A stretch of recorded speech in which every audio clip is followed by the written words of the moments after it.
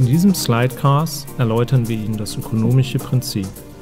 In der Literatur ist das Prinzip auch als Wirtschaftlichkeitsprinzip oder auch als Input-Output-Relation bekannt.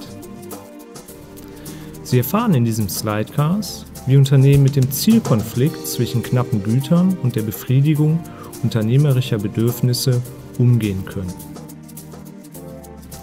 Inwieweit das ökonomische Prinzip als Leitmaxime des Wirtschaftens verstanden werden kann und wir erläutern Ihnen anhand von Beispielen den Unterschied zwischen den beiden Ausprägungen Minimalprinzip und Maximalprinzip.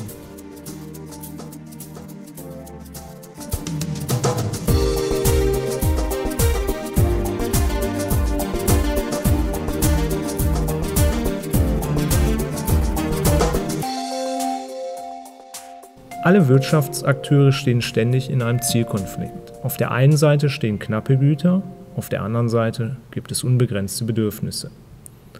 Um diesen Zielkonflikt zu bewältigen, müssen Unternehmen wirtschaften. Das heißt, sie müssen den Einsatz der knappen Güter planen, und zwar nach den Leitmaximen des ökonomischen Prinzips. Dabei unterscheiden wir zwischen dem Minimalprinzip und dem Maximalprinzip. Beide Varianten des ökonomischen Prinzips möchten wir Ihnen anhand eines Beispiels erläutern.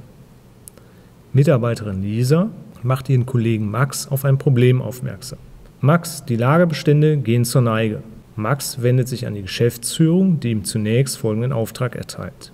Es soll eine Menge von 7000 Teilen bestellt werden und dabei auf die Kosten geachtet werden. Er soll also ein gegebenes Ziel mit minimalen Mitteln erreichen. Das ist das sogenannte Minimalprinzip. Die Geschäftsführung hätte Max auch bitten können, für ein bestimmtes Budget, in unserem Beispiel sind es 50.000 Euro, so viele Zulieferteile wie möglich zu bestellen. Also mit gegebenen Mitteln ein maximales Ziel zu erreichen. Das ist das Maximalprinzip. Beide Prinzipien zusammen, das Maximalprinzip und das Minimalprinzip, werden als ökonomisches Prinzip bezeichnet. In diesem Slidecast haben Sie gelernt, wie Unternehmen mit Hilfe des ökonomischen Prinzips mit dem Zielkonflikt zwischen begrenzten Gütern und unbegrenzten Bedürfnissen umgehen können. Was der Unterschied zwischen dem Minimal- und dem Maximalprinzip ist.